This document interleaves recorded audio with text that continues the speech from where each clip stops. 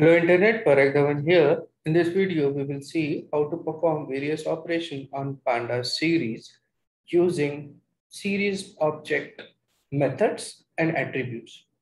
In the first example, we will see whether the series object is empty or not using empty attribute. So in the first cell, we are creating an empty series by using pd.series function. This will create an empty series and store it in as a variable we will print as a variable on the user screen. It is a series object, which is an empty series. We are checking whether the object is empty or not. So we are printing a statement on the user screen. Print is the object empty. And then we are calling object name dot member access operator dot empty attribute. So this will return a value true or false if the series object is empty, then it, this will return a value true. If it is not empty, then it will return a value false. In this case, SE object is empty. Therefore, when you run print SE.empty, it will return a value true. Therefore, output is true. In the next cell, we are creating a panda series S2 with random numbers. So of the NP module, we call random inside the random submodule we call the rand function to create four random numbers. And we provide them indexes using index is equal to in square bracket 11, 12, 13, 14. So we provide them integer indexes 11, 12, 13, 14. The series will be created stored in S2. When we print S2, you can see there are four random numbers. For this, we have to import numpy as np so import numpy as np. You can see four random numbers were created between 0 and 1. First index was 11, second index was 12, third index was 13, and fourth index was 14. So series is a labeled array. So what axis attribute will do? Axis attribute will return a list of labels. So list of row labels, here row labels are 11, 12, 13, 14. So axis will return a list containing 11, 12, 13, 14. So S2 dot axes, a question mark will return uh, help on axis attribute of object S2. What does it return? Return a list of row axis labels so in the next cell, we print. Print the axis are s2 dot axes. Click on the cell and run the cell. It returns 11, 12, 13, 14. So using the ndim method, we get the dimension of the series. So how to get the dimension of a series for for getting the dimension of a series, we have ndim attribute. So in the first cell, we are creating a panda series containing element 1, 2, 3, 4 and indices of that element. Index is equal to in opening and closing square bracket A, B, C, D, E. So A get a index 1, B get a index 2, C get a index 3, D get a index 4 and E get a index 5 stored in S, S will act as a panda series. If we print it on the user screen A is 1, B is 2, C is 3, 4, D is 4 and A is 5 data type of this series is integer 64. If you want to get the dimension of the series, then you can call series object ndim attribute.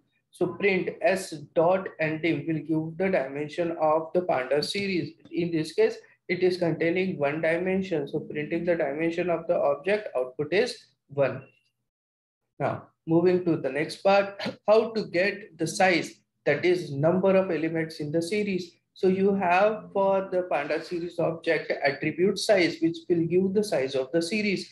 We are creating a series containing element 1, 2, 3, 4 and indexes of those elements are A, B, C, D, E. So PD dot series in opening and closing parentheses, we pass a list of element 1, 2, 3, 4, 5 and indexes of those element A, B, C, D, E. We print as on the user screen. You have A1, B2, C3, D4, E5, where A, B, C, D, E are indices and 1, 2, 3, 4, 5 are elements present inside the series. If you want to get the number of elements, then using the panda series object, we call the size attribute s dot size. How many elements are there?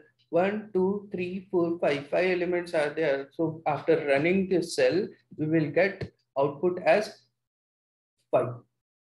So print the series object and the object has element five. How to get the actual values of series? So series object has uh, attributes values which will give the actual values of the series. So S is the series which is already created present with us with element 1, 2, 3, 4, 5. If you want to get the values of the series, we will run S dot member access operator and the attribute values. Click on the cell and run the cell. This will return values as a list 1, 2, 3, 4, 5. Now, getting top n elements of the series. For this, we use a head method.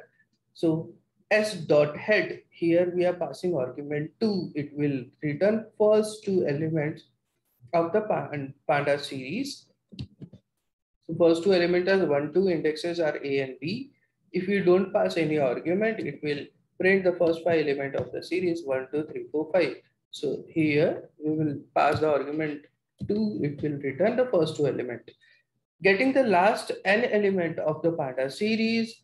In that case, you can run tail method series object dot tail inside it you can pass argument here s dot tail will return the last two values of the panda series s click on the cell and run the cell the last two elements are 4 and 5 index as dle if we don't pass any argument it will print last five values which are 1, 2, 3, 4, 5. So pass the argument 2 and get the last two values using the tail method.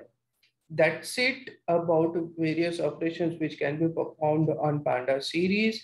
We started with series.empty attribute, which checks whether the series is empty or not and it returns true or false value.